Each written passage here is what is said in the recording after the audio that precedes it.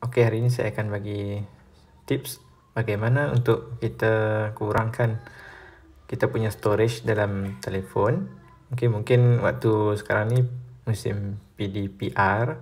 Jadi anak-anak guna telefon selalu download video dan sebagainya akan mengakibatkan kita punya telefon jadi hang dan kita check storage kita pun tinggal sikit. Okay, caranya begini. Kalau kebanyakannya menggunakan Telegram, macam sekolah saya, saya guna Telegram. Ha, dalam Telegram ni banyak lah. Okay. Uh, kita pergi ke setting. Uh, mungkin setting ada di bawah dan mungkin juga di setengah handset ada di atas. Okay, klik setting. Cari data and storage. Klik. Sangat mudah cara ini. Kita klik storage usage.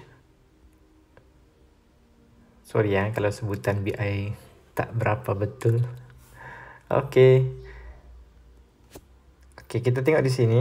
Kita boleh tekan clear telegram cacing ni. Ha, saya ni pun kalau salah sebut sorry ya. Okay. Kita clear saja ini. Jangan risau, takkan hilang apa-apa. Semua message kita, semua video, foto, semua masih ada dalam kita punya telefon. Okay, kita klik saja. Ha, akan keluar begini. Kita klik clear. Okay, kalau macam saya, memang saya selalu clear. Jadi sekejap je. Mungkin ada setengah handset yang uh, 10 gig, 20 gig. Jadi dia akan ambil masa yang begitu lama. Agak lama lah. Kalau macam saya tadi sikit je kan, jadi dia akan clear.